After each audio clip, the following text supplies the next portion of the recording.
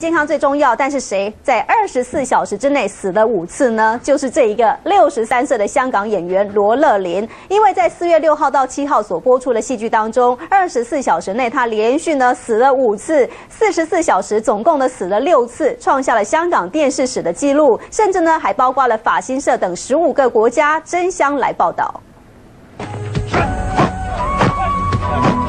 里饰演武功高强的莫师傅，他是香港演员罗乐林，现在被称为香港死神，还红遍国际。因为他在两天内播出的六部戏中，嘟阿后都死了。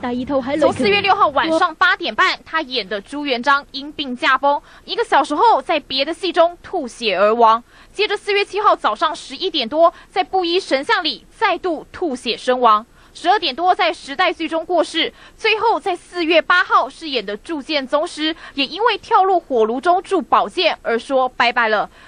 一天内连续死了五次，四十四小时中共被刺死六次，创下香港电视史纪录。老实讲啊，你这纪录啊，我都唔希望有人错。你哥一个人咁弱，一日死五次，你估真系。这样的特殊事迹让他被法新社、美国、英国、澳洲、意大利等十五国争相报道，意外成为国际娱乐新闻的焦点人物，还有“香港死神”的封号。